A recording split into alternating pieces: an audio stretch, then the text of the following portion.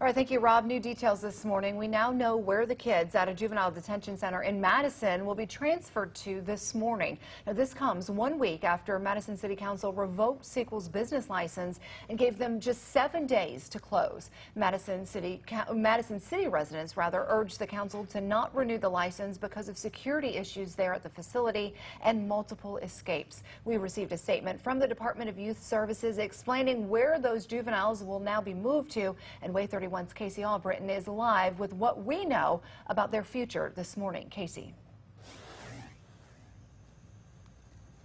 Those 51 teens are scheduled to move from the building right behind me to different areas across the state.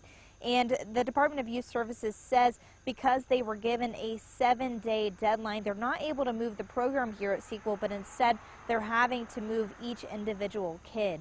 Officials say they have been working on the placement since last Thursday. Youth Services say some of the kids were close to being done at Sequel, so they will now go home. Some were ready for a step down program and they will go to group homes, and others will be moved to other campuses across the state. Officials say one program is being moved from the DYS Vacca campus to the Mount Meigs campus to make room for the kids leaving Sequel.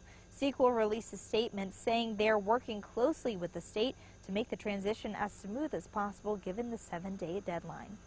The Department of Youth Services says they are moving each individual teen based off of their individual needs, and I'll be out here all morning long uh, to see when those kids are moving out this morning.